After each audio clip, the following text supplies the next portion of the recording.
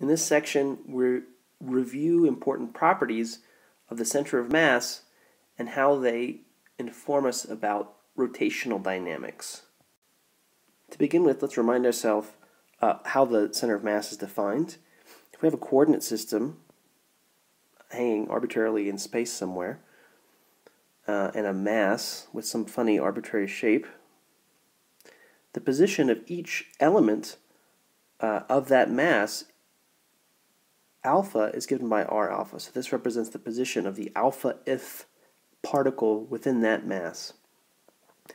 The center of mass for the whole system is defined as this sum here. So basically you take each of the particles with their masses, multiply by the position vector for that uh, particle, make the sum, and then divide through by the total mass. And so this represents the mass-weighted average position for this system.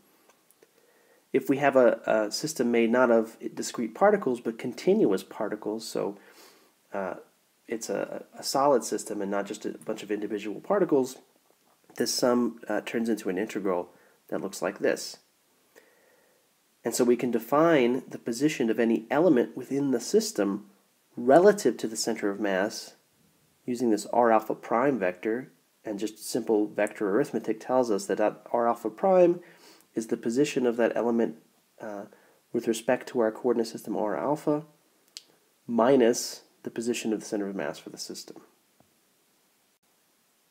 And now recall from previous chapters that we can define the total momentum vector for our system as the sum of the momentum vectors for each of the individual elements of the system. And that momentum vector for each uh, element is of course given by this product here. And from the previous, previous chapters, you can recall that this total momentum vector is just the total mass of the system times the velocity vector for the center of mass. And we showed in earlier chapters that uh, the net external force on the system will result in an acceleration of the center of mass. And so you can treat the whole system as if it were a, an infinitesimal particle located at the center of mass when you're thinking about the effect of external forces. And now let's think about uh, the system's total angular momentum. So again, here's our little uh, bean-shaped object. The center of mass is located at a position uh, capital R, and each element of the system is located at a position uh, R alpha. Then, of course, the, the position of each element of the system relative to the center of mass is r alpha prime vector. Uh, the r alpha vector pointing from the origin to each element of the system is given by the sum of these two vectors here. And so we can write the angular momentum of particle alpha as this cross product here, which is of course then equal to this. And so the total angular momentum for the system is just going to be the sum of the angular momentum for each individual particle. And so then that total angular momentum is going to be written as this sum. And as we'll see in a second, this sum uh, actually reduces to two terms, which allows us to express the angular momentum of the system as the angular momentum of the center of mass relative to our coordinate system plus the angular momentum relative to the center of mass. Let's see how that works. Again, our total angular momentum for the system is this. And we already know that uh, we've defined the R alpha vector in terms of the position of the center of mass for particle, excuse me, in terms of the position of the center of mass for the system plus the position of particle alpha relative to the center of mass. And so we can replace R alpha with this sum here and then, of course, r alpha dot here is going to be this time derivative right here of the, sum of these two vectors. Now you see that we have uh, the cross product uh, of between the sum of two different vectors, and so that should give us four different terms. So let's work out what those terms are. The first term, of course, is going to be this vector crossed into this vector. So that's this here. What does that term represent? That represents the position of the center of mass vector crossed into the mass of particle alpha, which is being multiplied by the velocity of the center of mass. Now remember, this sum is being taken over alpha, but these uh, vectors here, they actually don't depend on alpha at all. The only thing that depends on alpha here is the mass. And so we'll see that leads to some simplifications in a second. What about the next term? Well, now we have the vector representing the position of particle alpha relative to the center of mass crossed into the mass of particle alpha times the velocity of the center of mass. And again, this vector here doesn't depend on the sum over alpha. The next term, that's the position vector for the center of mass crossed into the mass of particle alpha times the velocity of particle alpha relative to the center of mass. Now, if we were dealing with a system uh, that was rigid, so that every element of the system was at a fixed distance from every other element of the system, what that would mean is this vector right here would have to be zero. In other words, the distance of particle alpha from the center of mass would be a fixed quantity. And in a very, uh, in many cases, that's going to turn out to be true. But the derivation we're working through here doesn't require that, and so we could have systems in which the shape was actually changing over time, uh, and we'd have to include this term. And then finally, we have the position vector of particle alpha relative to the center of mass crossed into the momentum vector for particle alpha measured relative to the center of mass. And let's see how these things uh, simplify. Here's our first term again. And remember that this sum only applies to the mass here. These two vectors are independent of the sum. They're just reflecting the position and velocity of the center of mass. And so we can take this sum and move it so that it applies only to the mass of particles alpha. When we do this sum, of course, m alpha, the sum over m alpha, just becomes the total uh, system's mass. And so then we have the position vector of the center of mass crossed into the momentum vector of the center of mass. And that is, of course, just the angular momentum of the center of mass. In other words, this term turns into uh, the uh, angular momentum of the center of mass as if it were an infinitesimal particle located at the center of mass. So this first term acts, uh, it, it, turns into a, a term that really just reflects the motion of the center of mass as an infinitesimal particle. So for this term, we can ignore the physical extent of the rest of the system. Of course, there are other terms that we'll see in a second, but this first term is pretty simple. Now dealing with the second term here, again, this sum only applies to these two uh, elements of the sum, and so we can take capital R out of the sum altogether, and so we get capital R vector crossed into this sum here. Well, this sum here, that represents the same thing as the time derivative of this sum. So this is a sum over alpha, m alpha, times the position of particle alpha relative to the center of mass. In other words, what we're asking is, where is the center of mass located for this system relative to the center of mass. And of course, the center of mass relative to the center of mass, that's just zero. And so this sum here just works out to be zero. And so, of course, its time derivative is just zero. And so that means that the second term uh, in the calculation of the total angular momentum for our system is just zero. Coming to the third term, looks like this.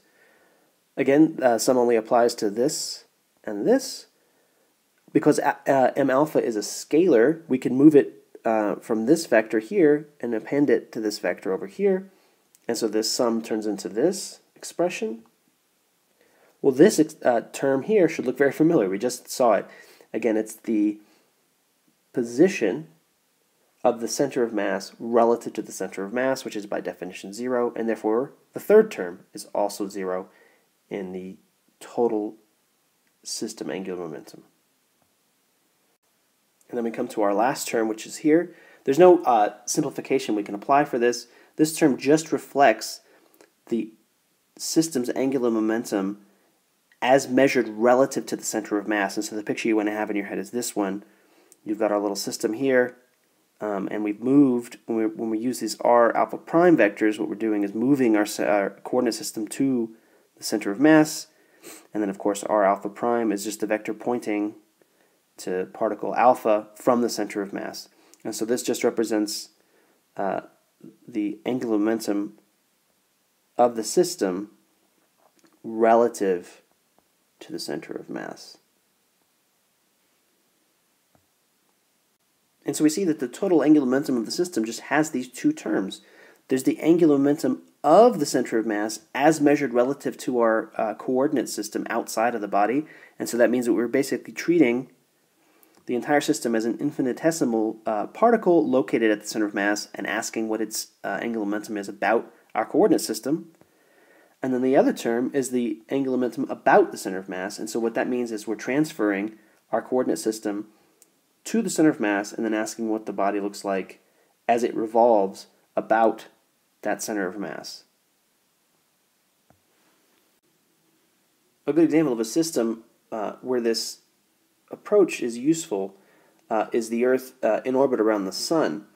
So the uh, Earth's angular momentum vector consists of two parts. Uh, one, the angular momentum of its orbital motion about the Sun, L orb, plus the angular momentum of the Earth's spin about its axis. And so, if we want to treat the dynamics of the Earth's rotation, we need only to think about that rotation in terms of its orbital angular momentum and its spin angular momentum. We can treat each of those two components separately. We get a similar simplification when we look at the kinetic energy for our system.